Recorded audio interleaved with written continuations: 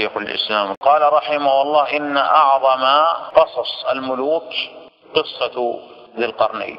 وقال إن أعظم قصة لأولياء الله عز وجل في الفترة السابقة هي قصة أصحاب الكهف. وقد قال رحمه الله إن حقوق الأنبياء حفظت ببركة نبوة النبي عليه الصلاة والسلام.